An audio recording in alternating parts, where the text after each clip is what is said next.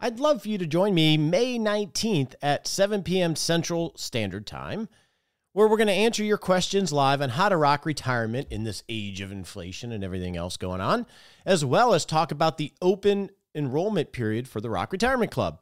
You can learn more and register at livewithroger.com. Woo! I looked the other day and the stock market is in correction territory, down over 10%. Interest rates are rising, inflation is at decades high levels. It is really hard to have the confidence to rock retirement. Hey, Roger Whitney here. Welcome to the Retirement Answer Man show. The show dedicated to, well, giving you the confidence to rock retirement. And it can be really hard right now with so much quote unquote uncertainty. Uncertainty, I think, is an overused word. But when we have rising interest rates, rising inflation, at least on the short term, stock markets going down and a lot more volatile, it's scary.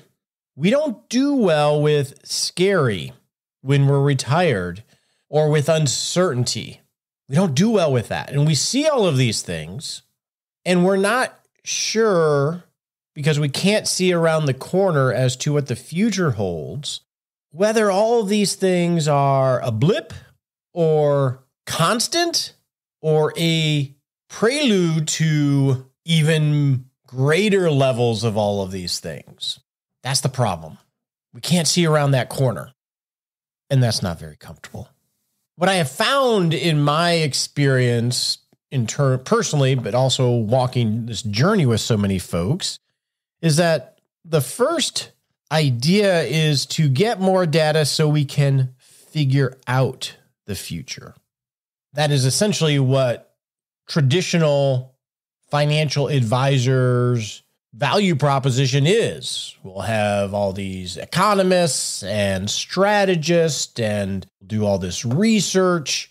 And there is value to that research in flushing out the dynamics of history and looking for ideas of what might be causal to something else. There's some value in that, but I think we put way too much value on that. And we try to find someone that we like and like the way they think and just say they have it figured out. I'm following that guy or that gal. That's human nature, I think, in a way. And there's some value in that, I guess, but I think it's overrated it's overvalued and i think it gives a false sense of security rather than just realizing it is the human condition that we can't predict the future and there's just a lot we don't know. Whether it's with markets or in the inflation or the or withdrawal rates or there's just a lot we don't know of what the future holds for us personally. The things that we're going to value over time or want to do and how our life will be organized. I mean we have some consistency, values and virtues tend to be constant over time as guiding lights. But we're never going to have it all figured out personally and be solved as a human individually, just like we're never going to have it totally figured out when it comes to retirement.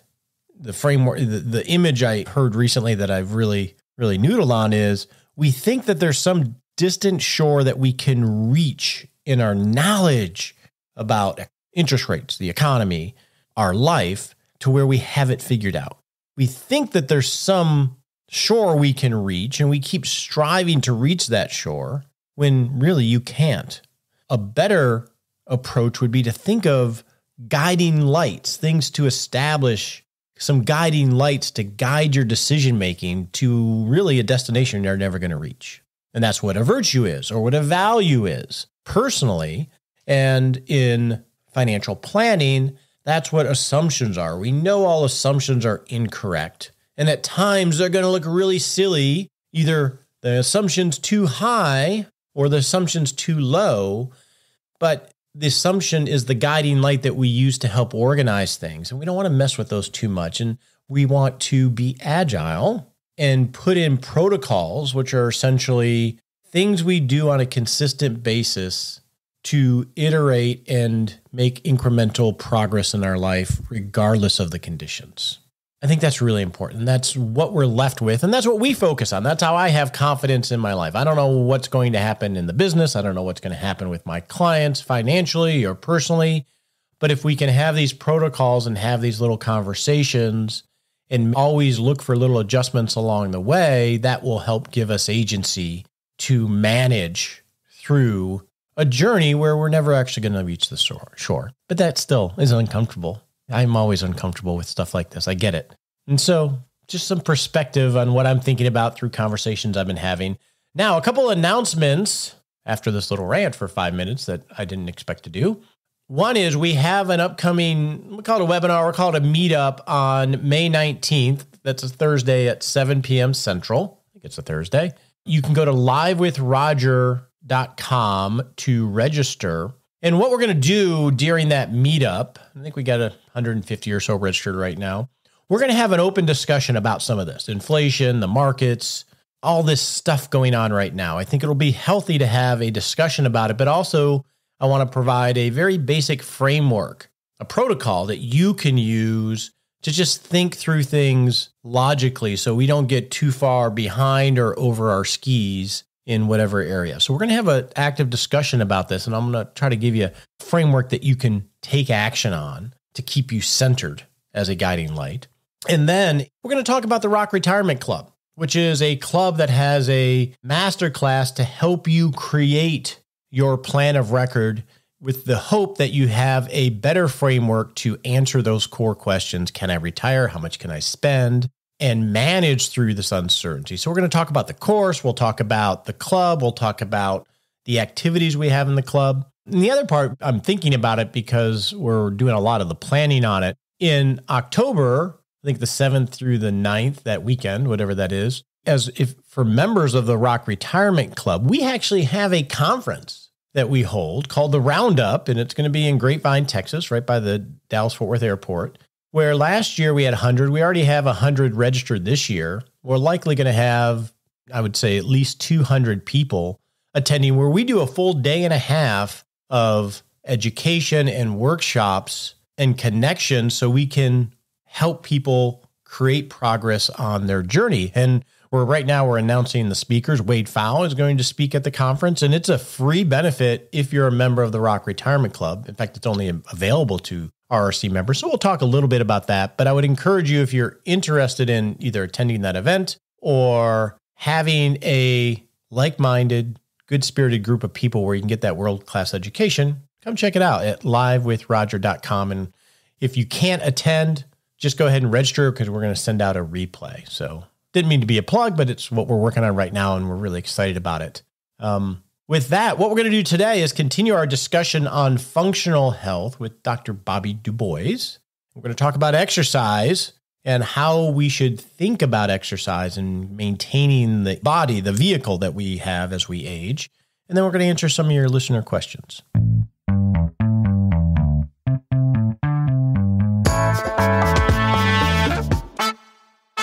This show is sponsored by LTCI Partners. They are independent insurance agency that focuses on helping people solve and manage long-term care risk. If you go to ltcipartners.com forward slash RAM and click on get quotes, a cool thing will happen. You'll fill out a quick questionnaire that will be a pre qualification to see if you are even eligible to qualify for long term care. And then, assuming you are, which is important to know, they will send you some example quotes on long term care policies so you can start to gather some information so you can manage this risk, all without any obligation or any big sales cycle of getting hounded forever. So you go to ltcipartners.com forward slash RAM and click on get quotes so you can begin your journey to figuring out how you're going to manage long term care risk in retirement.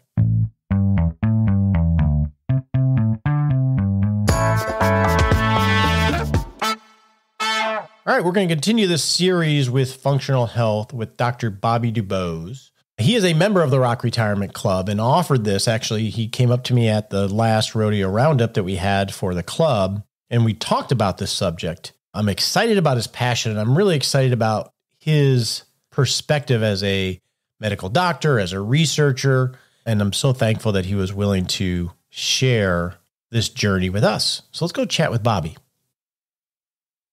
All right, we're back for our second session on functional health with Dr. Bobby Dubois. Bobby, you sent me an email explaining how to pronunciate your name. And after the last session, my chief grammarian, Nicole Rockstar Mills, and I were actually having a discussion. How does he pronounce his name? And I, we should have just asked you. We were getting Google to you know YouTube and getting how people pronounce it. So I appreciate you sending me an email. Do you get that a lot? Absolutely. Most people like to give it the French pronunciation, Dubois.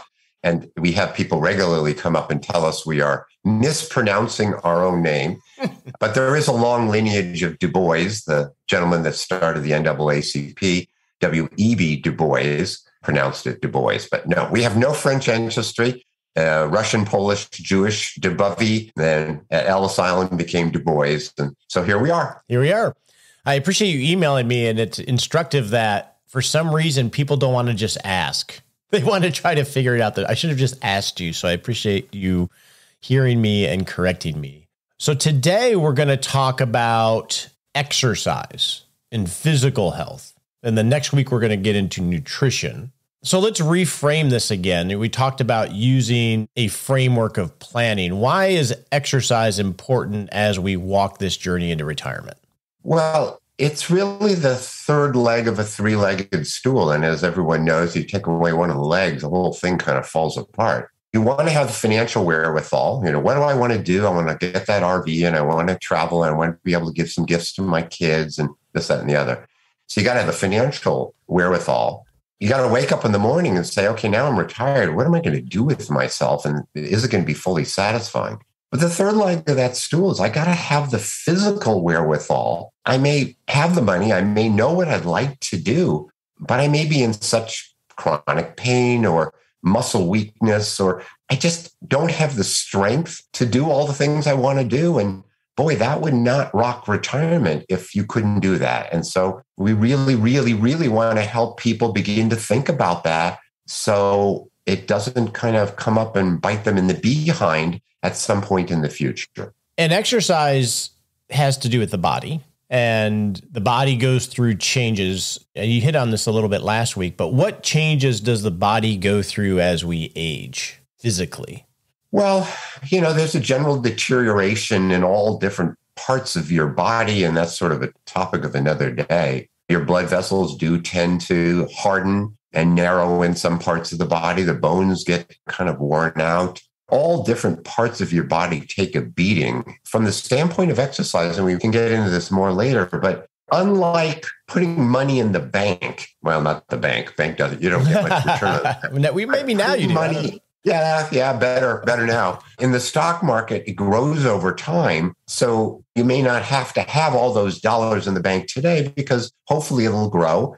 And those dollars can then help you enjoy your spending later on. The problem is on the physical side is that your muscle mass deteriorates. Whether you're a woman or a man, after the age of about 30, you lose 1% to 2% of muscle mass per year. And it probably accelerates as you get to be our age and beyond. So you're fighting a battle that you're losing every day you wake up. I mean, it's a little bit depressing. That does sound depressing when you say it that way. But it's a reality that everybody knows that there's these 90 year old people and they look frail. And we don't want to be one of those. So we want to get ahead of the curve.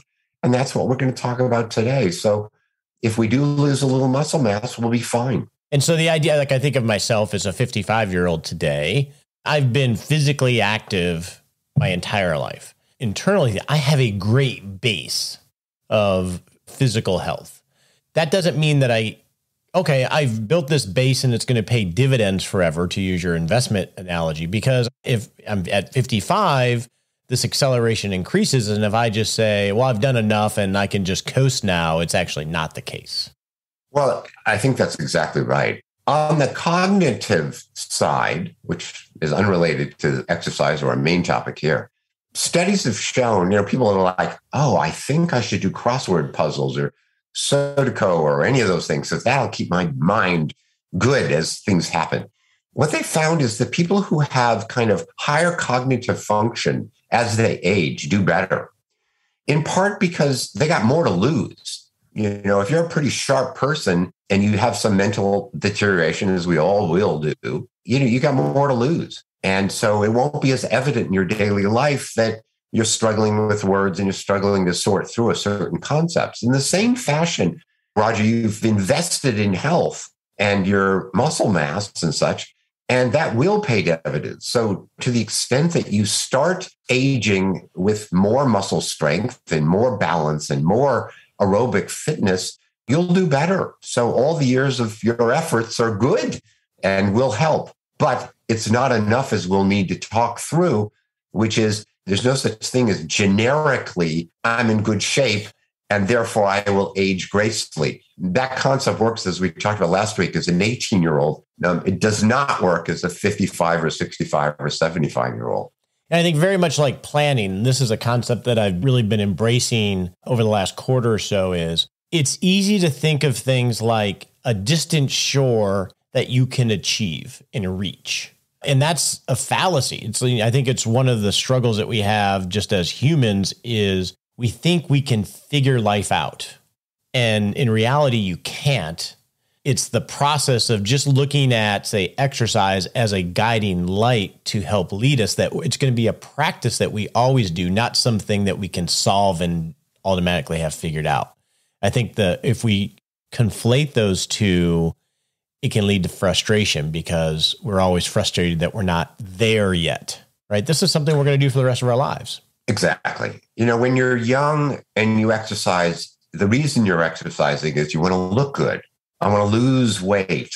I want to do that 5K and not have to walk the, the, the, the last part of it. It's very kind of experiential.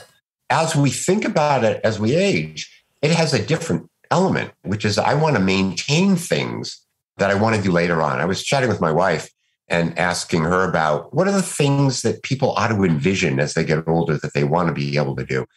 And it was interesting that, you know, everybody thinks, oh, I want to continue to play golf or I want to be able to hike up that somewhat rocky mountain. And, you know, those are all great things. And she pointed out that one of the things that might people might think about is being in an airport and someone someone jostles you. They accidentally bump into you sideways. Think of about an older person. They could fall over pretty easily.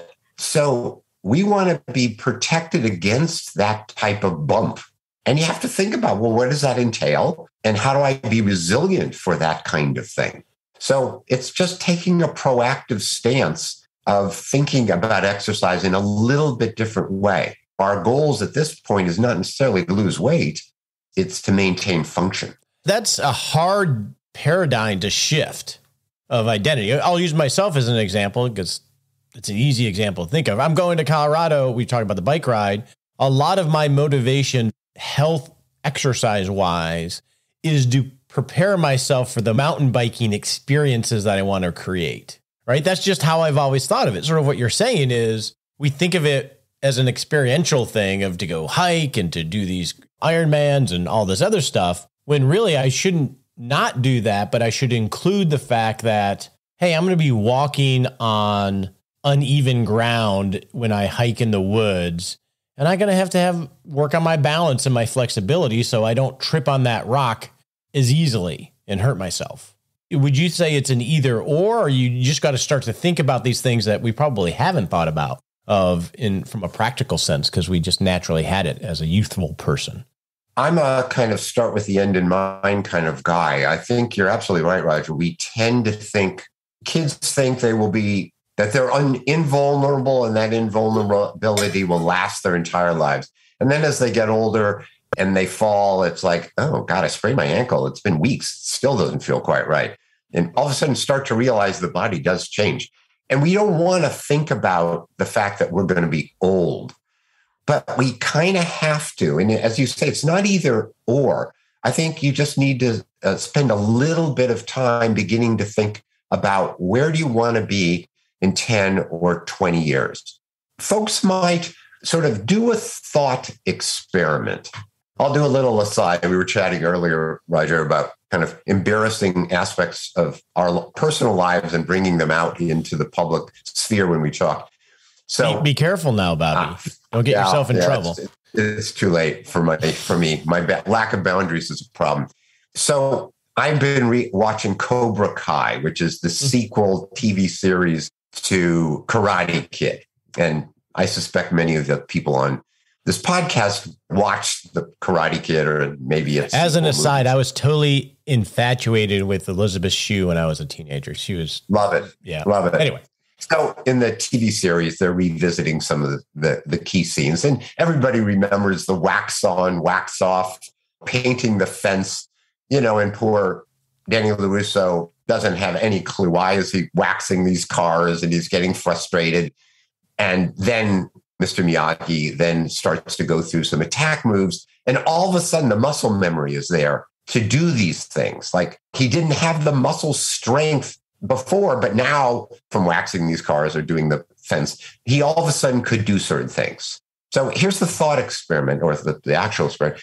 When we think about certain activities, so if somebody jostles you in a an airport, what muscles are going to help protect you? So imagine you are looking at a sort of a cartoon character of a person and they're all muscles. You're looking at what parts of their body are activating. So think about golf. All right. So the arms are doing something on the backswing and they're doing something different on the follow through. Now another person is walking up a hill and you can see the muscles on the sides of their legs doing whatever they're doing. Now somebody is trying to stoop down and pick up their grandson and you can sort of see their quads firing and their hamstrings firing or somebody jostles them and all of a sudden now they're sliding sideways and now the side of their leg has to fire. These are all completely different muscle groups. And if you think you're ready for all of these things, great. But here's a not a thought experiment, a real one. Stand up and raise up one of your legs a couple inches off the ground. All right, I'm going to do this right now. Can we, can we do this? Yeah, that's probably not that hard. Step two, raise that leg up like you're a flamingo. So now it's higher off the ground. Okay, now this is getting harder. Third, close your eyes.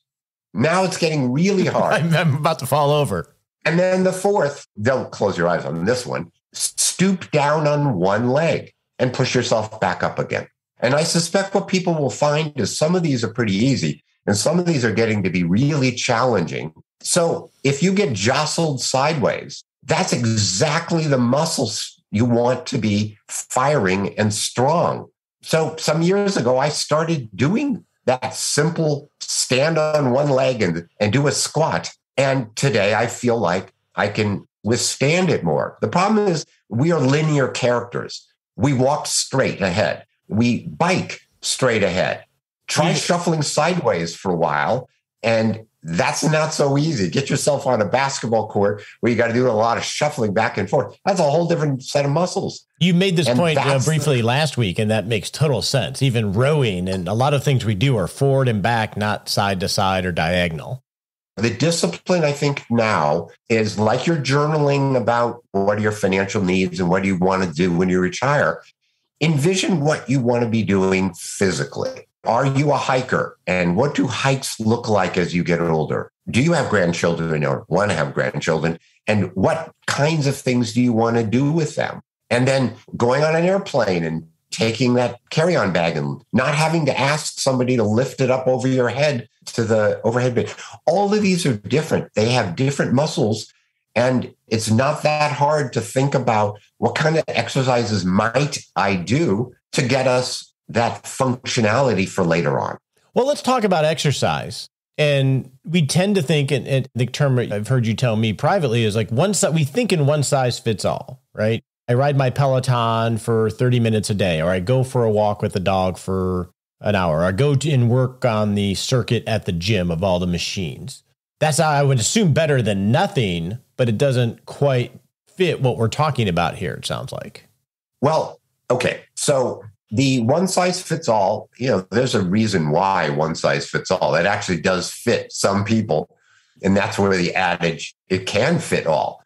Eating too much at every meal, yeah, probably not a good idea. That's a one size fits all.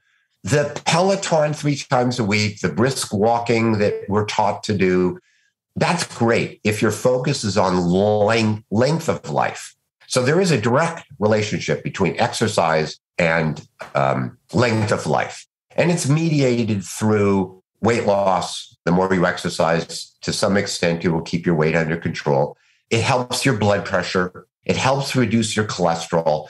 Generic exercise, pick anything that gets your heart rate going. That will burn calories and that will help you with length of life. Because I think of myself with like my blood pressure and my resting heart rate, right? Yep. They're all very low because of all of this aerobic stuff that I've done. Like right now, I just checked my pulse on my Whoop and I'm like at 54. Yep. Is my heart rate, which is really low for moving around and doing stuff. And so by elevating your heart, you're building that muscle a lot, I guess is the best way to say it, right? Strengthening. You're building that muscle, you're burning calories, you're doing the things that will help your cardiovascular system. And that's the number one cause of death. So for length of life, generic, get on the Peloton, do whatever you want, play pickleball, all wonderful things. But if it's physical functioning and rocking retirement, being able to go on that RV vacation and take the darn barbecue out of the back of your RV and setting it up and then realizing, oh, I need some rocks to stabilize it and having to go pick up the darn rocks and bring them over. That's not length of life. That's the functioning and the quality of that experience. That takes a little bit of thought. Now, you said a strength circuit on the machines. I did now, that on purpose because I have an opinion about that, but I figured you had a thought on that. As long as it's a well thought out circuit, that's a great thing to do. I have a TRX machine, which is that thing that hangs in most gyms, the yellow thing. But if you do one exercise on it, that's great. But to really keep the, all the muscles in order, you need to do a whole series of things that are hey, you thought through. And so the generic circuit may be okay, or it may not be okay. If you want to really be able to raise up your grandchild and pick them up in, in your arms, then a kettlebell squat is a great thing to do. What the heck is a kettlebell? Well, you know, it's a weight, a newfangled weight. It's not a dumbbell that everybody knows. It's kind of looks like a kettle, and you can charge more money and sell you more equipment. So now people do that instead of a, a dumbbell, but a dumbbell does the same thing. It's basically a weight, stick it in your arms, and then squat. And that's exactly like picking up your grandchild. And if you don't do something like that, it gets harder and harder to do that.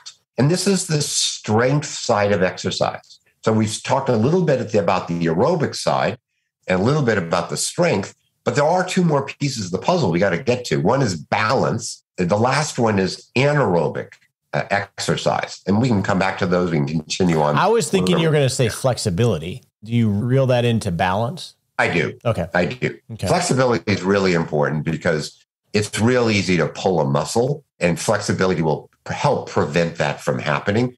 So, stretching and yoga and all those wonderful things, I think, are a good part of maintaining your function. Would you agree that as you're building out, and we're not going to be able to help everybody solve this today, but I think you're bringing up a lot of issues that help will change our view on how we approach this.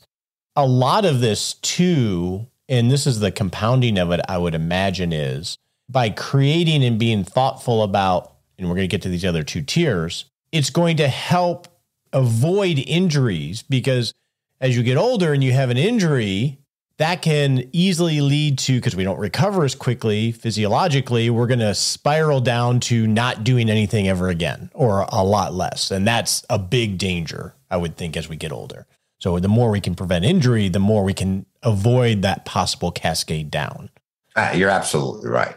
And it's a bit of preventive care. When I was in my 20s in medical school, and I looked around and looked at people and like, you know, I don't have the time to be doing exercise on all parts of my body. And so I was strategic about it. I said, well, what makes a person look out of shape when they're 40?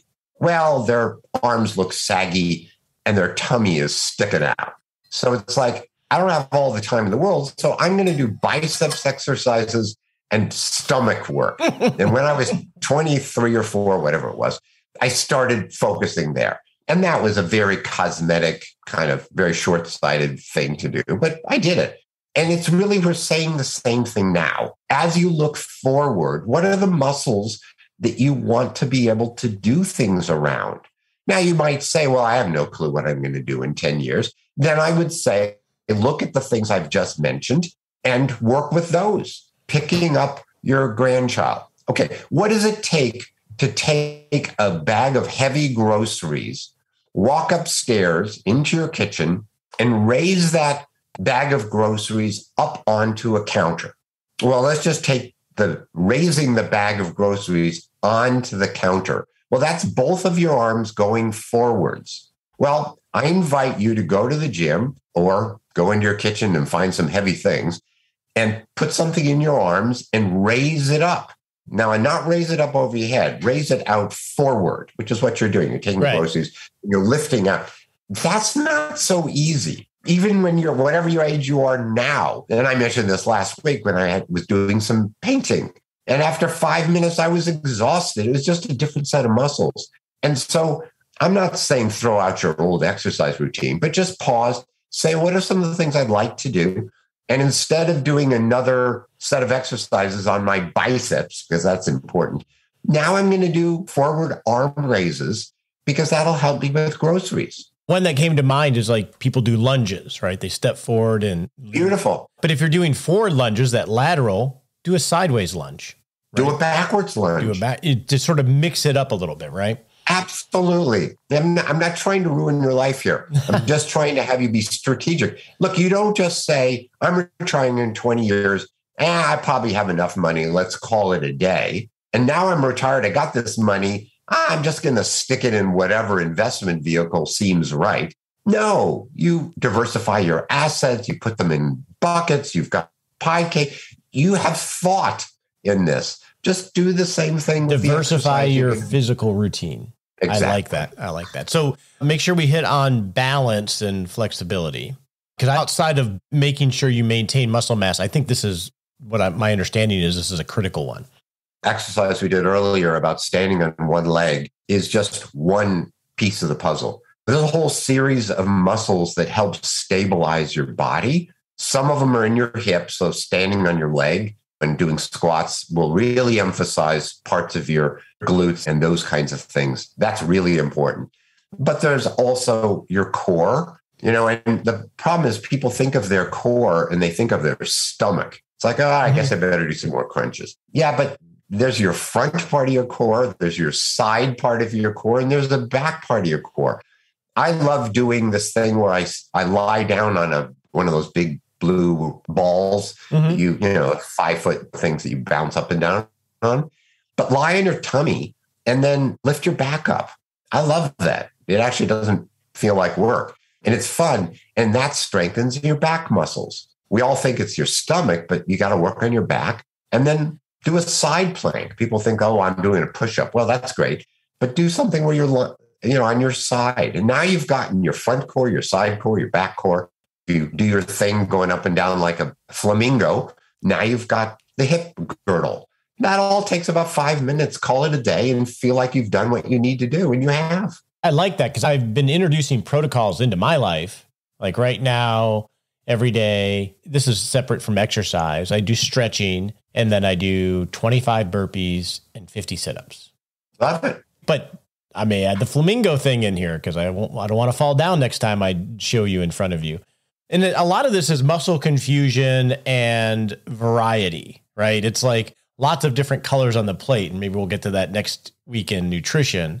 And I've been down this road and there's high intensity interval training, there's CrossFit and things like CrossFit, which sort of try to confuse your body and do all these things that you never thought you would be doing.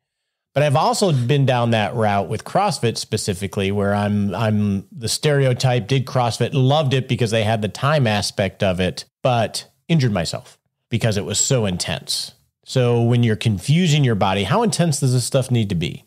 Start slow. This isn't a sprint. This is a marathon. We talk to people about doing their first marathon. I said the most important goal for you.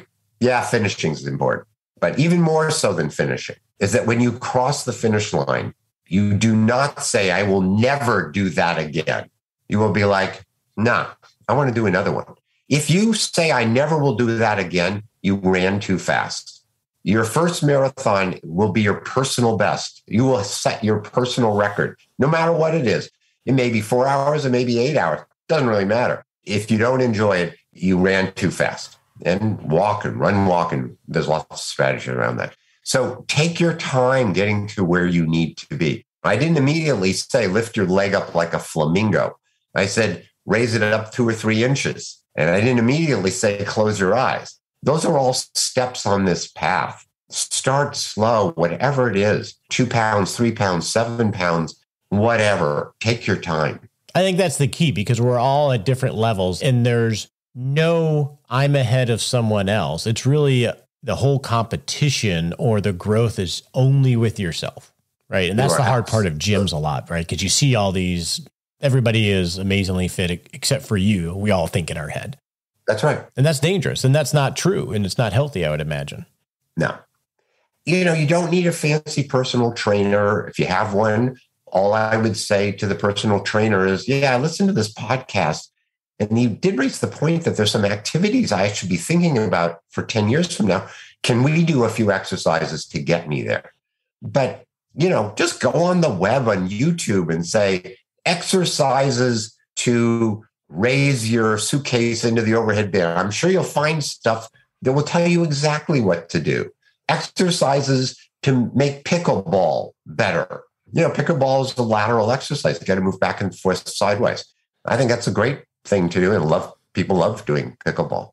Well, let's talk. Uh, one thing I want to make sure we hit on, and then we can talk about how people begin this journey, just a couple steps they can take. But one thing I wanted to hit on first, Dr. Dubois, I see I, I'm learning that, is we'll take pickleball as an example or tennis. I've had three knee surgeries. I can't play tennis. I can't handle any lateral. So, what does someone do, whether it's tennis or pickleball or some of the things we're talking about when we have are some limitations that prevent us from doing certain things? How do we factor that in there? Well, it's a great question. And we will all have some limitation or other as we age.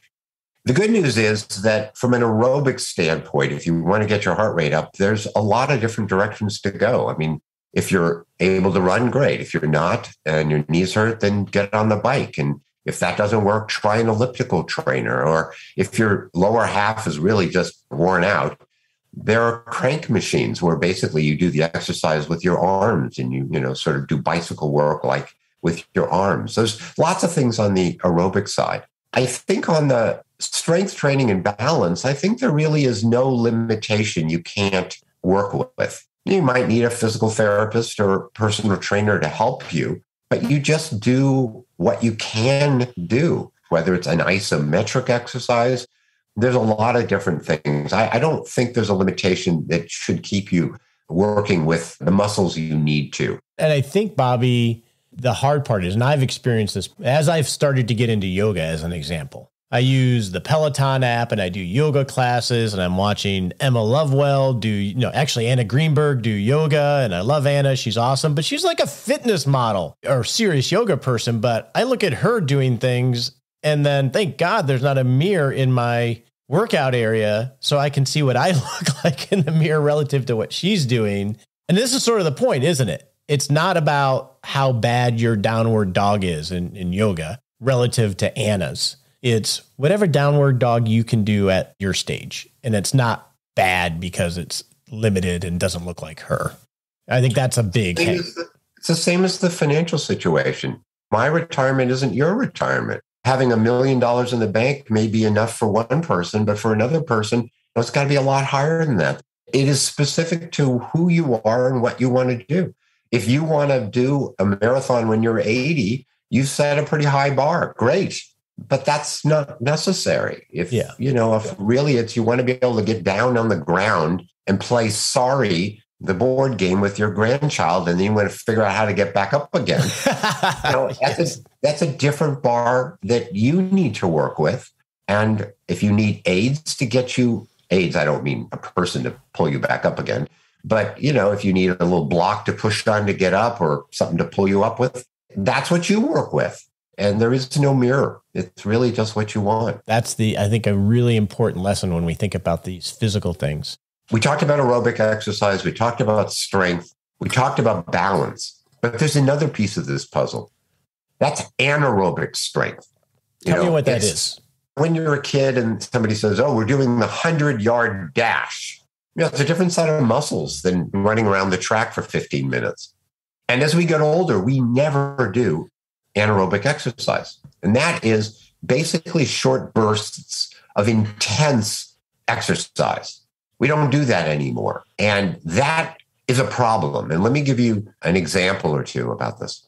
You are taking care of your grandchild and you're in the market and you're pushing the cart along and your grandson was holding onto the cart and that was your way of keeping track of your grandson as you're going to your car in the parking lot. But for whatever reason sees a squirrel and wants to run after it or a dog or whatever.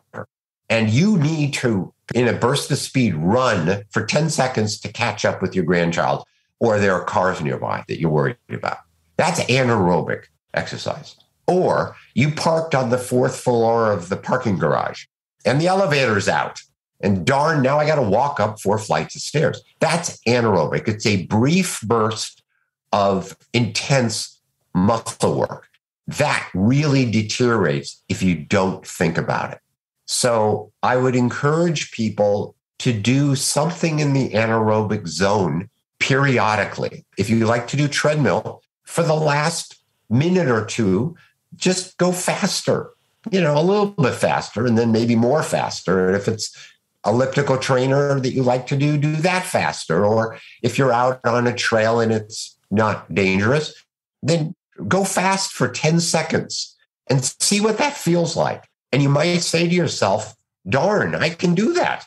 Or it may be like, yeah, imagine if I was trying to run after my grandchild. I'm not ready to do that that deteriorates and it's a silent problem that you won't unearth if you don't try it out on yourself periodically. So I would encourage us to do just a small amount of anaerobic work. I personally hate it, but it's important to do. Uh, yeah, I do that in cycling and it is hard if you do it yeah. right. It's essentially yeah. sprinting. Yeah, exactly. Yeah. And I appreciate you bringing that up. And I also appreciate, Bobby, and I'm actually impressed given your pedigree as a physician, you are always bringing this discussion back to reality. Your grandchild runs away from the cart. These are the things we're trying to solve for. It's not all these fancy physical studies and all the stuff you might read in the health magazines. It's the practical stuff. I appreciate you bringing it back to that because that is the point. That's how you rock retirement, right? Exactly. Exactly. So we've hit on a lot of things people could do. I think it would be helpful very briefly to say, okay, what is the first step, regardless of where you're at in this journey, to start to incorporate this stuff? I would say two things, which lead to the key third thing.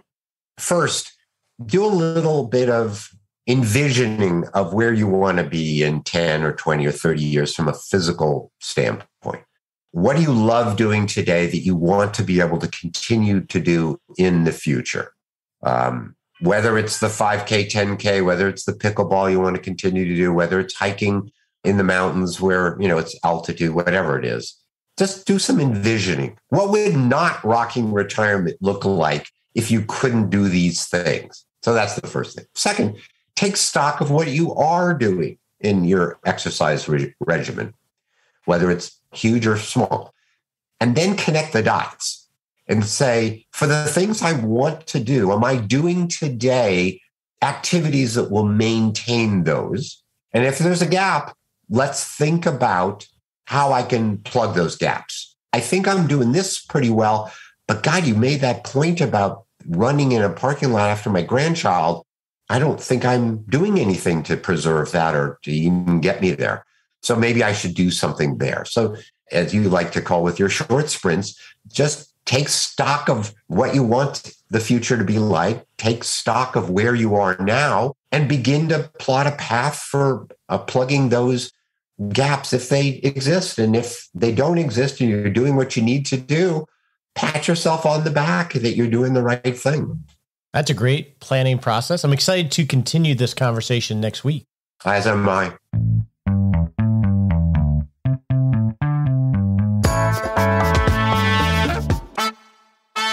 This is probably one of my favorite segments of the show, although I love the themes because it helps me refresh my thinking. But we're going to spend some time answering questions from you, the listener, you know, one of you anyway, or a few of you, about the journey of figuring out how to rock retirement. Now, if you have a question for the show, go to rogerwhitney.com forward slash ask Roger, and you can submit an audio question or an email question, and we'll work, do our best to slowly keep answering these questions so we can gain perspective on how to rock retirement. Now, our first one comes from Steve, actually, who emailed me after I answered a question on Roth IRAs. And he says, Hey, Roger, whenever you talk about Roth IRAs, I almost never see you mention the fact, as I understand it, that you can withdraw your contributions anytime without penalty. Can you clarify this point in your discussions with us? That's a great point, Steve. And after you emailed me that, and I appreciate when I get emails from listeners, usually through our Six Shot Saturday email, because we send out a summary of the show. You can sign up for that at rogerwhitney.com. Man, I feel like I'm always saying, hey, go do this. I'm sorry about that. It just makes me think of it. But Steve emailed me after I answered a question on Roth IRAs. I guess, Steve, I probably didn't mention it or don't mention it because I'm always focused on the central question that they're asking. And sometimes I don't get a broader view. So I appreciate you poking me on that one. So when you have a Roth IRA and you make a contribution to it, that contribution dollar you've already paid tax on. So when you go to withdraw money from a Roth IRA, you have all these funky rules of the five year rule and 59 and a half and all this other stuff. But all the time, you can take out your contribution tax free. So whether you're 29 and you contribute 5,000 and a year later you want the money back, you can take it back, the 5,000, the contribution amount because you've already paid tax on that money. And I don't bring that up a lot and I appreciate you helping me clarify that because it's an important nuance of Roth IRA. So thanks, Steve, man. I appreciate that. So our next question comes from Connie about biannual reviews with her financial planner. So Bonnie says, Hey, Roger, I'm a regular listener. Enjoy the show. Awesome. I have a financial planner and we meet twice a year. I often do not know what I should be asking him. I am planning to retire him this year and I have the funds I need. What sort of questions should I ask when I meet with him? Well, that's a great question, Connie. And I literally, I just sort of threw this question here. So I hadn't even seen this question other than just a quick glance at it. What should you be asking your financial planner as you work towards retirement? Well, you have a lot of things happening because it sounds like you're ready to retire. So, my suggestion, Connie, is the next time that you meet with him or her, you want to ask them, show me my plan of record for my retirement, which is going to likely be a financial planning software report that shows maybe it's a Monte Carlo report of here's what your goals are, here are the resources from Social Security to maybe pension to all of your investment assets. And here's our confidence that you can achieve this spending at whatever level. And maybe if it's Monte Carlo scenario, it's going to say you got a 99% confidence that you can meet these spending goals. So that's the first document that you're going to want to have because that's going to give you a viewpoint of your journey at this point in time and tell you, hey, am I okay? Am I on a safe journey or am I headed towards a cliff that I just can't see over the horizon? So that's the first thing that you're going to ask for. And then have them walk through that and then look at the assumptions. What is my estimated spending, perhaps for my needs, wants, and wishes? And confirm those numbers are accurate or with it, accurate is to your best estimate at this moment. And a good financial planner will help you create those estimates and dig a layer deep into what your spending is going to be. So, as an example, it's easy to say, well, Connie, how much money are, are you planning on spending in retirement? And Connie says, well, I think I need $120,000 a year. So that's the number that they use. That's a good starting point, but there's a lot of nuance underneath that number that you, the planner should be walking you through. What's behind that $120,000 number? How much is healthcare as part of that? How much of that is your base great life category, which we call needs category, right? What is the housing and just to live the basic life of Connie to make sure you have a roof over your head and you can eat and everything else. Our friends at the IRA and retirement show would call that the minimum dignity floor. your planner should be digging deeper on those numbers and then separating out what the discretionary things are. Well, and I've seen this happen in practice, in my practice, many times of someone comes up with a number and we start massaging that number. I'm like, well, where do we get that number? Oh, I got 20,000 in travel that I was thinking of doing. I threw in there. Well, that should be separated. That should be a separate line item because it's much more discretionary. And so you want them to dig deeper on those numbers and separate out the discretionary from the base great life, which is a concept that we used to call needs, which is, you know, some basic travel, some basic education. So you want to have this long-term projection because they should have created one for you as a planner. And two, you want to start to go through the assumptions, look at your spending assumptions and if they didn't go deeper, you want to go deeper. And that may be an indication that you need to address this or have the planner do that. You also want to look at the assumptions of what Social Security will be, assuming you have it. That usually these software tools will generate an assumption based on something you might have filled out on a questionnaire. And that's okay to start, but again, the planner should have at some point gone deeper and said, Do you have a Social Security statement? Let me see that. Let me use that number. And if you're retiring at age 52, they might make some adjustment by doing a detailed calculation because the number on your social security statement is can be different if you're retiring significantly earlier than your full retirement age. So they should again dig into that. Any other social capital pensions and things like that. And then on the financial capital, they should do the same things. Here is each account. Do we have the entire net worth captured, not just simply your investment accounts, but and I've seen this happen I'll have a client complete or a potential client complete their financial resources and then at, through discussing it and flushing it out, oh yeah, I have this $100,000 or $300,000 slush fund that I just don't talk about. Well, we, we need to have that in there. Even if we don't include in the plan, we want to know the pieces on the board. So the planner should have done that. And I'll tell you, Connie, one of the hardest things financial planning wise, from my perspective, is clients open and close accounts, values go up and down, they pull money without me knowing it, and reconciling to make sure the numbers and the names of the accounts are correct is important. So you want to make sure that they go through that in this biannual meeting as well. And then on other resources, a lot of things that can be forgotten are, oh, I'm going to get an inheritance. I'm going to have this payout or I'm planning on selling this house and but only buying a house worth half the amount, so the rest of the money's coming in. So you want to make sure all this is in the plan of record. If it's not, that means they may not have gone deep enough. So this would be a good agenda, say, for this next semi-annual meeting. And then look at the analysis of whether it says it's okay or not. Now, the other thing that you should ask Connie, especially if you're close to retirement, and it says, I think it's this year, you said, and this is where financial planning software generally falls apart. So, in my practice, we use software for all of this discussion as a long term projection. So, in this next meeting, and this is something you want to review every meeting, is okay, how am I actually going to do this? And what we use in our practice is a, a five to eight year cash flow projection outlining all of the income and the spending that we see and the deciding how we're going to pay for this when the income goes away and what specific account is that money going to come from? And that's the pie cake structure and we have we'll put a link to it uh, hey nicole she's the one that drafts six shot saturday. We'll put a link to a discussion of what that pie cake is. I think it would be helpful to you connie i think it would be critical for you connie that if you're retiring within a year you want to know how the next five years of your life is going to be paid for specifically once you quit your job or once you retire.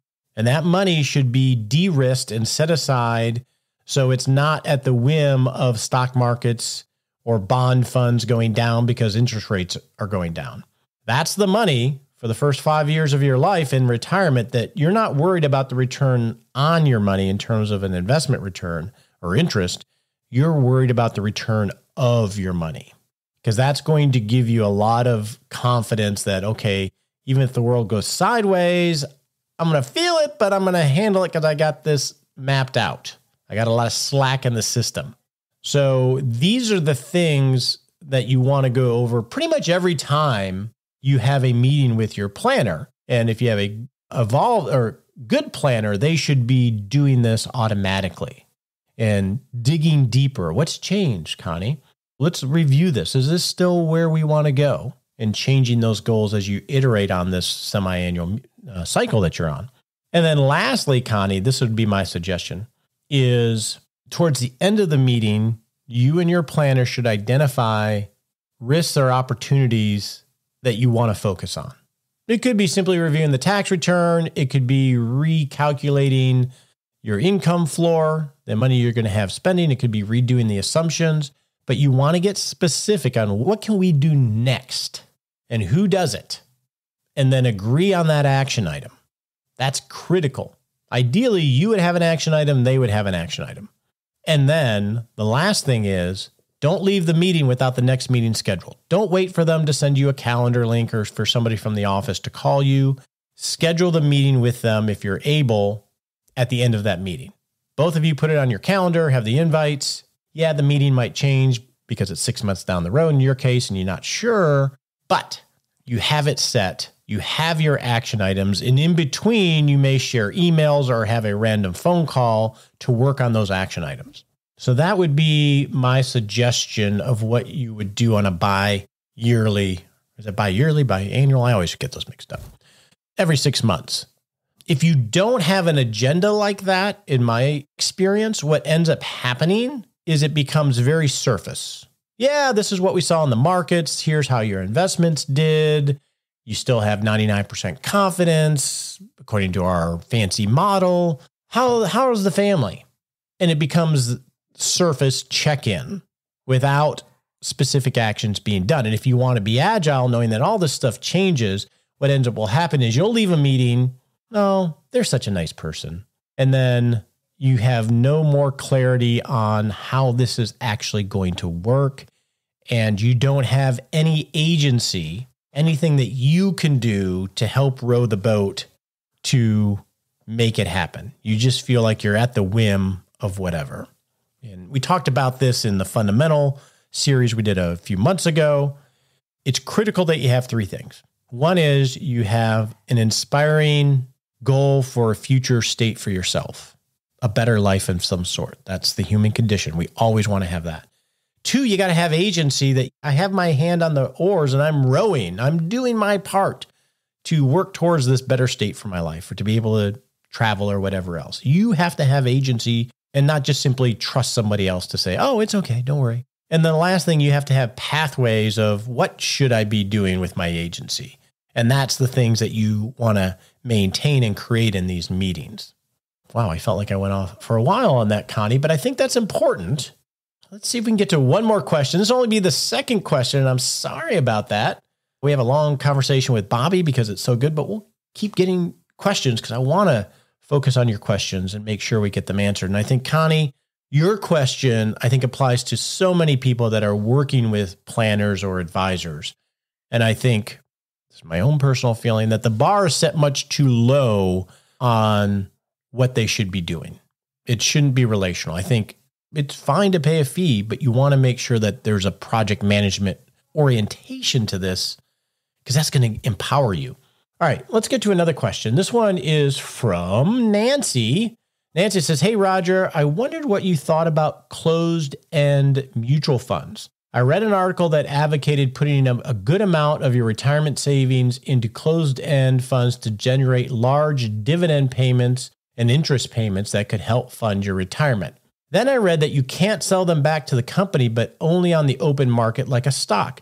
Can you talk about the pros and cons of open end mutual funds? Thanks for the great education and podcast. I look forward to listening. Great question, Nancy, and very timely. I should probably should have answered this maybe six months ago, and you'll realize why in a moment.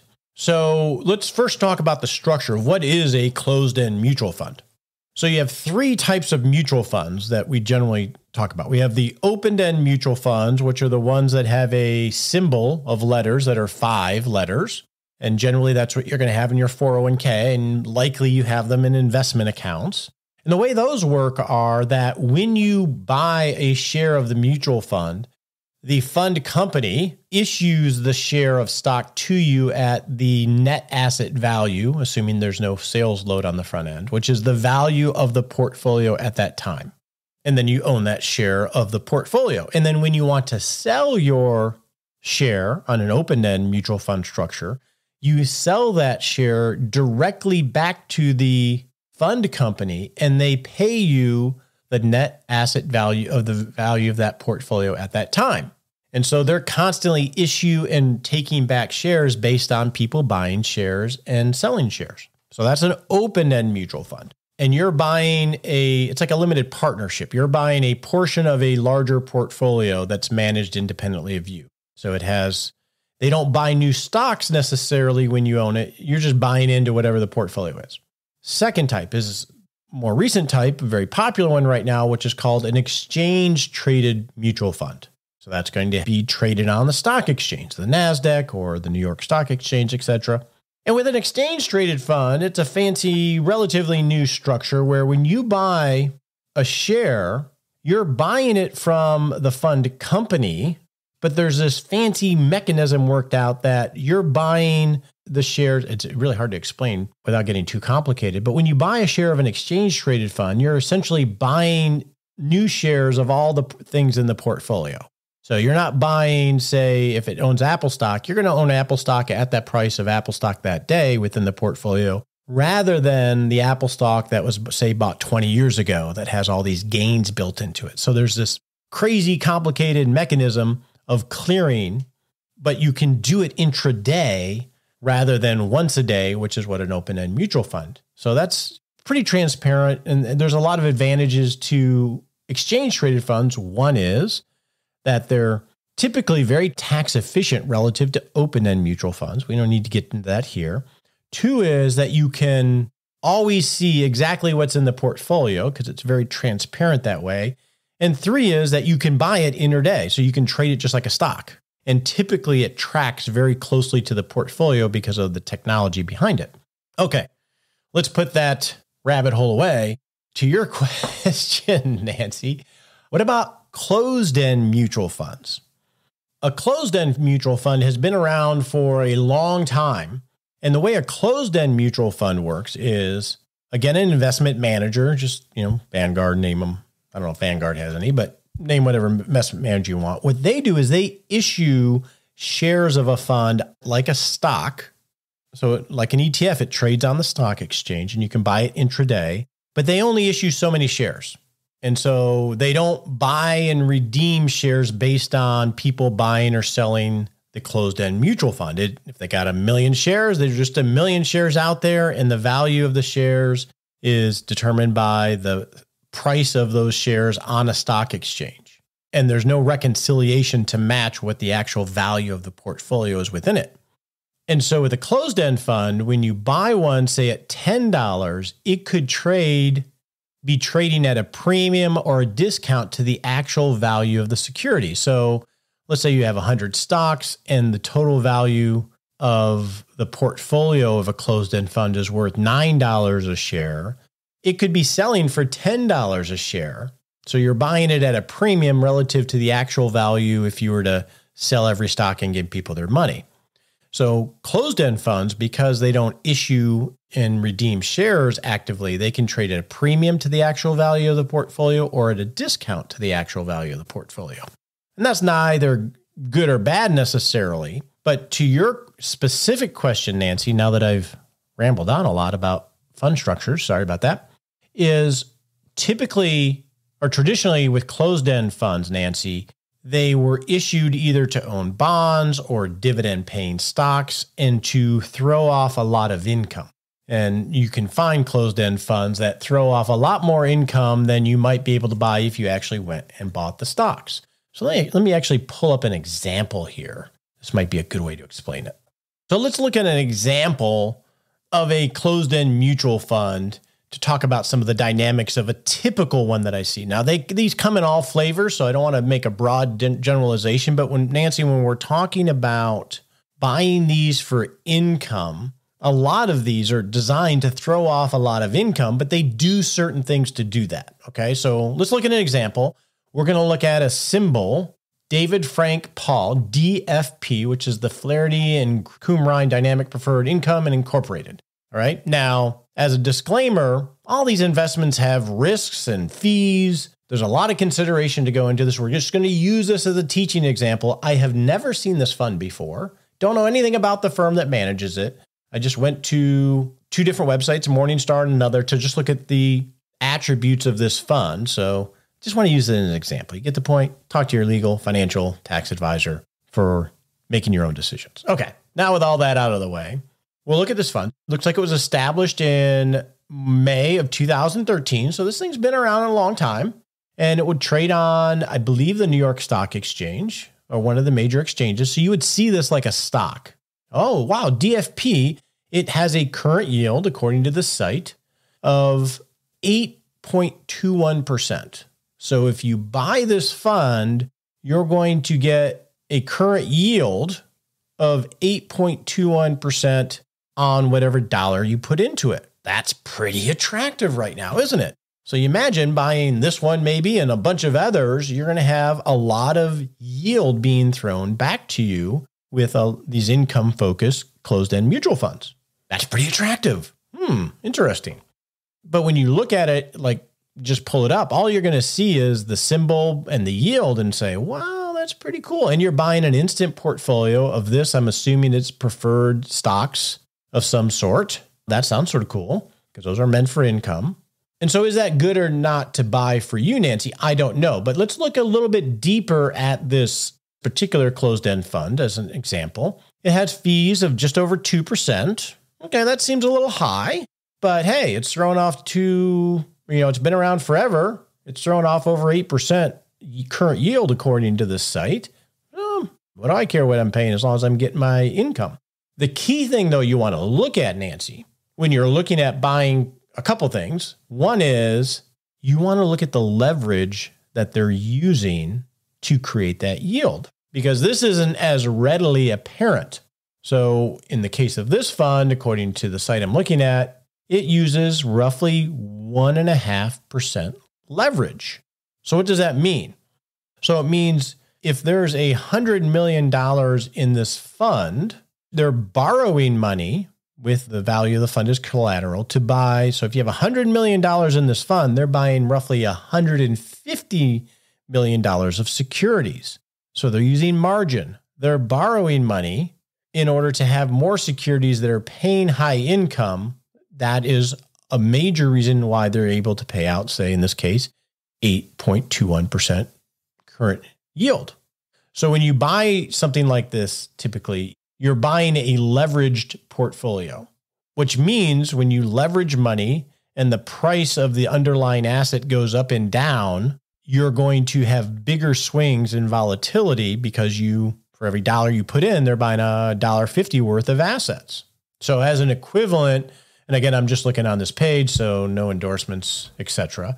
If you look at symbol PFF, which is the iShares Preferred Income Fund, and they use no leverage, meaning if you put a dollar in, they're only buying a dollar securities, and their fees are a lot less. Their current yield, according to the site on this day, is 4.94%, significantly lower than the first one we talked about, primarily because of two reasons. One is they're not using leverage, and two is they have lower fees. So that's the first thing we want to understand about these things, Nancy.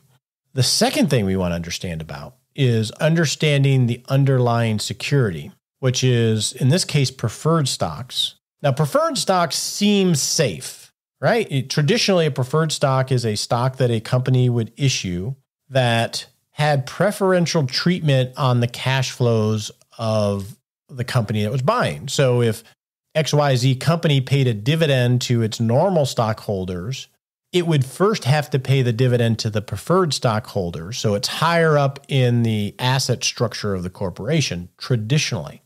About 20 years ago, preferred stocks changed in structure. Now, it's not always this way, but a new structure of preferred stock came around in, I believe it was the eight, late 90s and I feel old because I'm like, I was there. I remember all this happening. And the modern preferred stock that I see more often is it's called a preferred stock, but really what it is, it's like a trust that the company will create And then it will issue bonds, long term bonds, 30 year plus bonds typically, to the trust. And then the trust would issue the preferred stock. So it's not actually your grandma's old school preferred stock. So the reason I bring this up, Nancy, when you're navigating this closed end mutual fund world is that how does a long term bond act, even though it has the name of a preferred stock? Well, if interest rates go up, it can go down more quickly than a shorter term bond fund. So when you buy a modern preferred stock, it's going to act in terms of volatility moving up and down much more like a long term bond than grandma's old school preferred stock. That's important to know. And then if you put it into a closed end mutual fund and you add leverage, say I buy $1.50 for every dollar I have of these very long term bonds so I can have this amazing dividend that can be really good when interest rates are going down. You, these things can actually appreciate very quickly. But flip side, when interest rates are going up, these things, which are generally very sleepy, can lose a lot of money really quickly. And so I guess my, I should have done this at the beginning, Nancy. Sorry. But I think through this out loud, and I think it's helpful to understand some of this. Closed end mutual funds, especially ones that focus on income can be very manufactured and not be quite what they seem on the surface. And so we want to be very careful there. Now, if interest rates go up and the price of this goes down significantly because they can have wild swings, especially if they're using leverage, unless something changes internally, you should still get the same dollar amount payment over time, depending on the portfolio.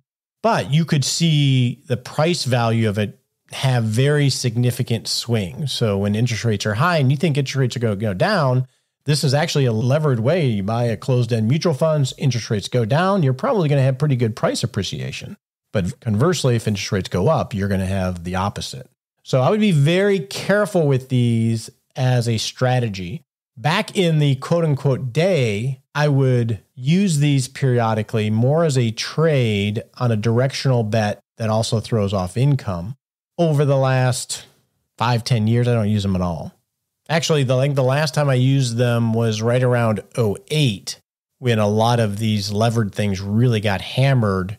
It was an, just from a tactical playing around standpoint, an easy way to, not an easy way, but a way to play that, hey, things will revert back and get okay. So, Nancy, I think as a general rule, I would be very cautious and possibly avoid closed end mutual funds unless they are very clean. They're not using leverage. You understand what's in them.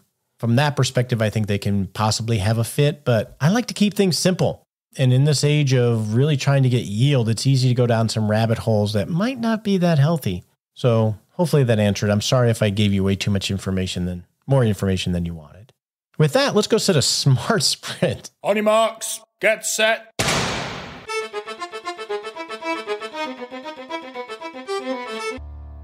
And we're off to set a little baby step you can take in the next seven days to not just rock retirement, but rock your life. Uh, oh, I felt like I just been uh, a little bit on a roll today. Hopefully, it was focused enough for you. All right. What can you do over the next seven days? Well, I think taking Bobby's suggestion and taking inventory of your exercise regimen and what you're doing and what you want to be doing is a great three step process that you should evaluate for yourself over the next week or so and just make one little change. I think that's the key thing here. You may say, Oh, I got to overhaul everything based on a great conversation with Bobby. Don't do that. I wouldn't suggest doing that. Just start to implement little things at a time and you'll be on your way to physically rocking retirement.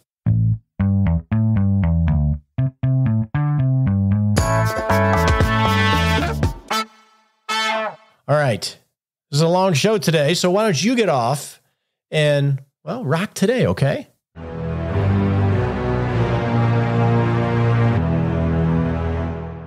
Hey, it's time for that all important disclaimer. We so appreciate you listening to the show and love your questions and love the teaching that we're able to provide here. And actually, it helps us too. But remember, you're not our clients. Not love it if you took advice from us yeah, on we the would show. not, we would not love it if you took advice from us on the show. Realize this is helpful in education. Talk to your legal advisor, your tax advisor, or your financial advisor before you make any decisions. We appreciate you joining us today for this episode of Retirement Answer Man. Be sure to visit rogerwhitney.com slash answers to access the Retirement Answer Library with over 30 checklists to help you make the most of the only life you have. Remember, you have more power than you realize to create an amazing life starting today with Retirement Answer Man. The opinions voiced in this material are for general information only and are not intended to provide specific advice or recommendations for any individual. All performance referenced is historical and no guarantee of future results. All indices are unmanaged and may not be invested into directly. Have a wonderful day.